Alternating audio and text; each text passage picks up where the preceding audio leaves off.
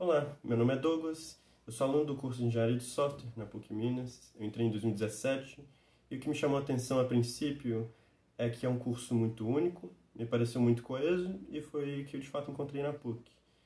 E o curso é muito bem integrado entre as diversas frentes que ele desenvolve, ele é cheio de ótimos profissionais, os professores são muito próximos da gente e eu considero isso uma vantagem enorme.